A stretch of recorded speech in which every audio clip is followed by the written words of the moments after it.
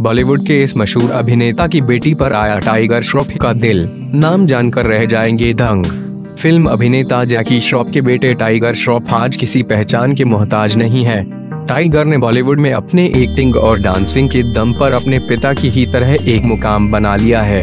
आज हम आपको बताने जा रहे हैं कि टाइगर श्रॉफ का बॉलीवुड का बॉलीवुड के किस अभिनेता की बेटी पर दिल आया है और साथ ही ये भी कि टाइगर जल्द ही इनके साथ एक फ़िल्म में भी नज़र आने वाले हैं। तो आइए जानते हैं कि कौन है ये मोहतरमा।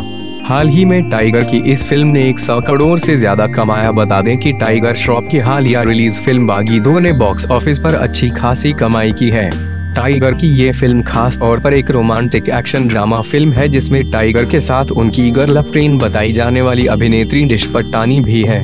इससे पहले टाइगर श्रॉफ ने बागी में भी काम किया था। वो फ़िल्म भी खासा सफल रही थी। उस फ़िल्म में टाइगर के साथ फ़िल्म अभिनेत्री श्रद्धा कपूर नज़र आई थी।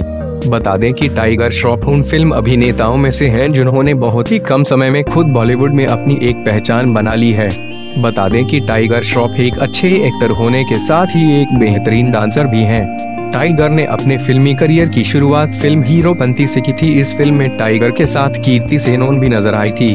इस अभिनेत्री पर आया टाइगर का दिल आपको बता दें कि आज हम जिस अभिनेत्री की बात कर रहे हैं वो और कोई नहीं, बल्कि फ़िल्म अभिनेता चंकी पांडे की बेटी अनैया पांडे है। बता दें कि अनैया जल्द ही करण जौहर की film student of the year दो में नज़र आने वाली हैं। इस फ़िल्म में अनैया की जोड़ी दर्शकों को टाइगर श्रॉफ के साथ देखने को मिलेगी। पुनीत मल्होत्रा द्वारा निर्देशित ये फ़िल्म इसी साल नवंबर में रिलीज़ होने जा रही है।